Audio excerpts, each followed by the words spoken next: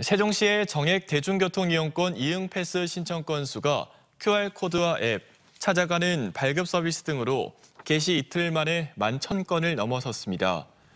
이응 패스는 월 2만 원으로 최대 5만 원까지 BRT와 시내버스, 마일버스와 공영자전거 어울링 등 대중교통을 이용할 수 있으며 대전 지하철을 비롯해 청주, 천안, 공주 등 인근 지역 대중교통과의 연계 이용도 가능합니다.